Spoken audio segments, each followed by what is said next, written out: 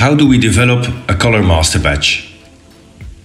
This is a question we often get at Italmaster. On the basis of this video, we are happy to explain this.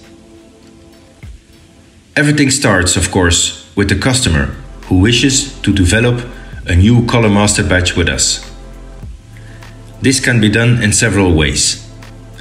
Either he gives us a Pantone or RAL reference of a certain color, or he supplies us with a sample of his current master batch.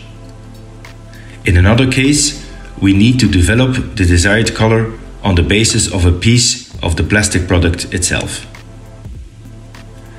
We then ask the customer to fill in a checklist in which we check for additional information that should give us a correct picture of the usage requirements and functionalities that the master batch must meet, such as the type of polymer to be colored, the processing temperature for injection molding or extrusion, is it an indoor or outdoor application, what is the desired dosage of the master batch, and much more. The checklist is the input for our internal lab request. With this information, the color engineers can get started with the color matching job. The color engineer undertakes a number of attempts in the lab to create the suitable master batch formulation with a whole range of available monopigments. These pigments are carefully selected in the lab and weighed very precisely. Then, a small amount of master batch is created on lab scale.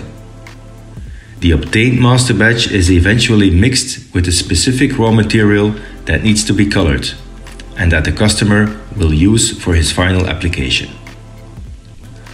For injection molding purposes, a color plate is injected. For fiber extrusion, a fiber sample is spun with this mixture as a test sample.